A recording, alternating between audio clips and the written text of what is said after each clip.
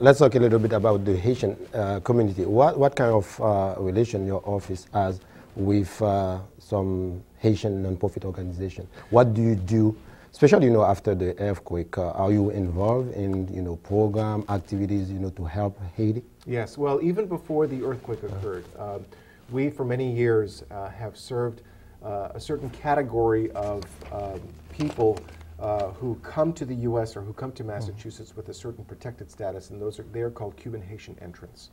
Uh, and we have uh, programs and assistance available for these kinds of individuals that are like the kinds of benefits that are given to refugees. They're federally funded um, to help people get uh, resettled here uh, in the Commonwealth. Um, immediately after the earthquake occurred in January, um, the governor, Governor Patrick, wanted to make sure that we had both a swift and comprehensive response um, because of the recognition of how large and important our Haitian population is here in Massachusetts, especially in eastern Massachusetts and especially in southeastern Massachusetts.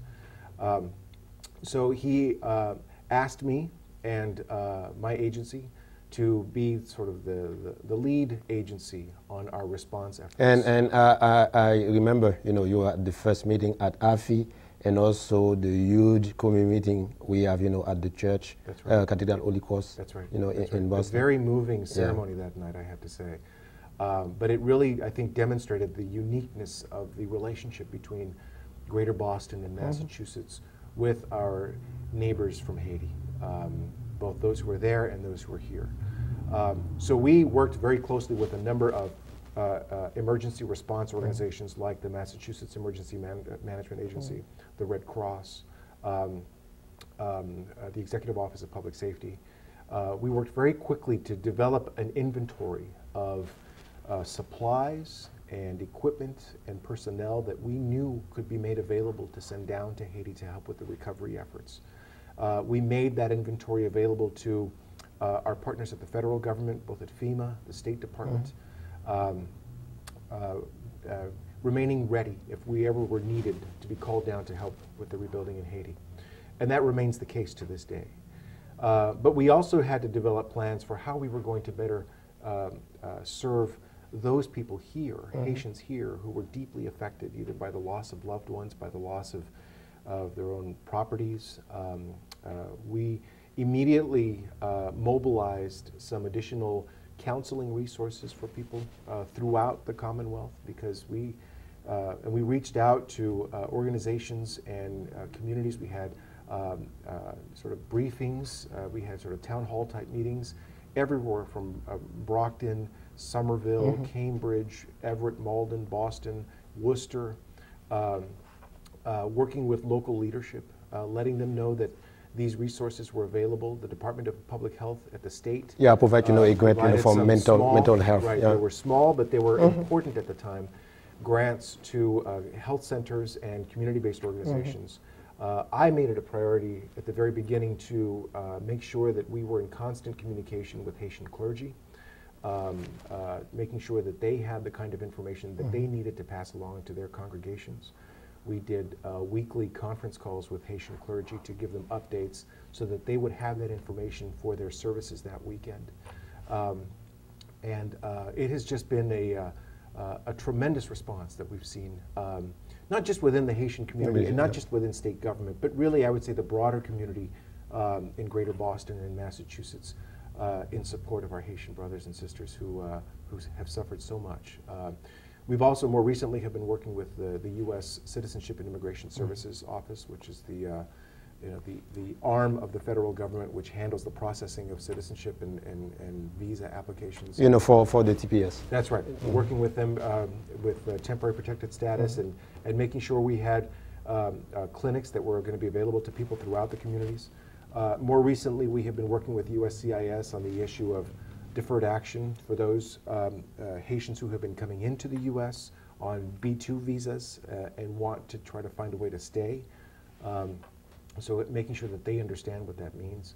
Uh, and also understanding from the state side what these different new um, uh, immigration statuses mean in terms of eligibility mm. for services and benefits from the state side. So uh, even though the, the, the uh, immediate trauma uh, from the earthquake seems to have dissipated some, the work continues. Um, and uh, we work very closely with a number of community organizations, Catholic charities, uh, especially in Boston and Brockton.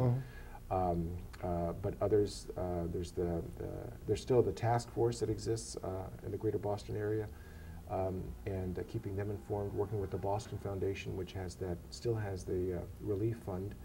Uh, so there have been, I'm, I'm happy to say, there have been so many partners that have stepped forward uh, to help our, uh, our Haitian communities here, but there still is a tremendous need that exists, uh, especially in increasing the capacity for those uh, Haitian serving community-based organizations.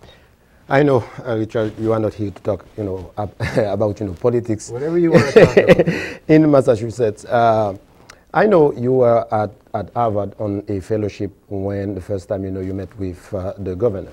Uh, why did you know decide to join you know the campaign in 2006? Well, it's interesting you should bring up that, uh, that year that I spent at Harvard. It was a delicious year uh, on the Nieman Fellowship. And it was really just a year where I was allowed to explore certain kinds of intellectual journeys that I had uh, always wanted to do. Um, and I actually ended up spending, I was supposed to go in and, and take these courses at the Kennedy School and the law school, and I had a very serious sounding proposal, but when I arrived, I ended up doing something very different.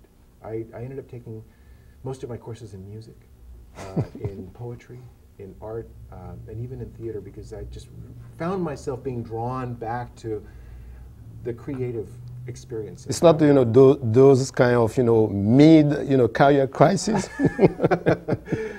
but it really sort of reminded me of my first love, which was always been uh, how to think and how to express creatively, uh, how to think problems through creatively, because it really affects a lot of the other decisions that I am able to tackle and deal with. And it was really during that year that I first started thinking about the road ahead for me professionally. And I wasn't sure if I was going to always remain a foreign affairs editor. Uh, I wasn't sure if I was always going to remain at the Boston Globe, and I wasn't sure that I was always going to remain in journalism. I didn't come up with the answers during that year, but it was really when I first started thinking about those questions um, and asking myself those questions. Um, I went back to the Globe for a year after, uh, after my fellowship was over, uh, and I was appointed the ombudsman, which uh, is a very unique opportunity. Opportunity, yeah. uh, where I am essentially the, the reader's representative inside of the newspaper. Mm-hmm. My job is to explain to the readers why the newspaper does certain things the way it does, and to critique the newspaper when the need arises. Um, and so uh, uh, it was during, after about a year in that role, that I was introduced to, uh, to Deval Patrick. Um, and as I said, it was, did not take very long uh, for me to be um, motivated uh, by his message, by his story, and by his vision of what he saw for, uh, for state government and for public service. And uh, it was not an easy decision to, to leave the Globe. Um, the Globe was a wonderful institution, um, but um, it was it was the time. It was the time to make that turn, um, and I'm I don't regret it. Uh, this has um, uh, opened me up to a whole new universe of people, of issues, of of even just of, of, of getting